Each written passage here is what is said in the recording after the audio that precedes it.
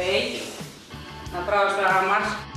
Никогда не подумая, что эта хрупкая маленькая женщина 25 лет своей жизни отдала по-настоящему мужскому спорту. Выдает только кимоно. Ирина Черкасова является тренером-преподавателем по борьбе дзюдо первой категории в городе Доброполье. За свою спортивную жизнь она прошла три олимпийских цикла. С 2000 года по 2012 работала старшим тренером Донецкой области. Воспитала два мастера спорта международного класса, 8 мастеров спорта и огромное количество кандидатов в мастера спорта. В спорте я давно, давно, с первого класса, можно так сказать, э, занималась легкой атлетикой, занималась баскетболом. Но тогда, в то время, женского дзюдо не было официально принято. Это еще был Советский Союз. В 1986 году э, приняли женское дзюдо и начали преподавать официально пришла моя подруга детства. Говорит, поехали, у нас э, есть город такой Белозерск в Добропольском районе. Поехали, говорит, в Белозерск. Я спрашиваю, почему? Почему мы туда поедем? Она говорит, будем учиться драться. Полтора года мы тренировались в городе Белозерске, пока не открыли официально в Доброполе. Сейчас у Ирины Алексеевны тренируются 4 группы детей по 20 человек в каждой. Ежедневные нагрузки совсем не пугают тренера, ведь без своей любимой профессии женщина не представляет полноценной и счастливой жизни.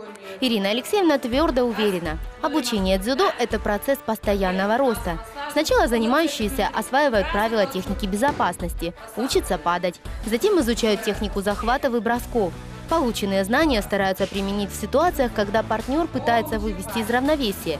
Именно дзюдо отлично помогает закалить характер.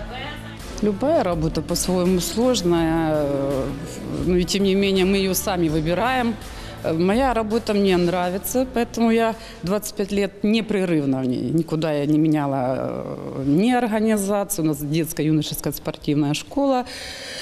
Э, работа нравится. Сложность да, устаешь, да, было как-то желание, все надоело, не хочу, уйду, поменяю это самое. Но и тем не менее, утром встаешь, и все равно изо дня в день, в день идешь на свою любимую работу. Конечно же, многие новички, узнав, что тренер женщина, сначала воспринимают Ирину Алексеевну не совсем серьезно – но в процессе активных тренировок понимают, с ней не расслабишься, потому что это хрупкая женщина по своей натуре и замечательный тренер, и настоящий спортсмен в одном лице.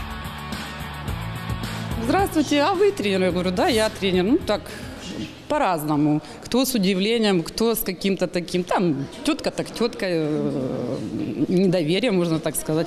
Ну, а потом уже в процессе тренировок, в процессе общения уже понимают, что с этой теткой особо шутки плохи. Смотри внимательно. Проход левой ногой потянуть раз. Вот, вот этот раз и бросок. Делаем проход вот раз, вот ваш выход и бросок. Я страховка. Задняя подножка, ваша нога должна что? Я прошла и по две вставить. Настолько плотно вставить, чтобы осталось потянуть вот руками, он уже сам упал.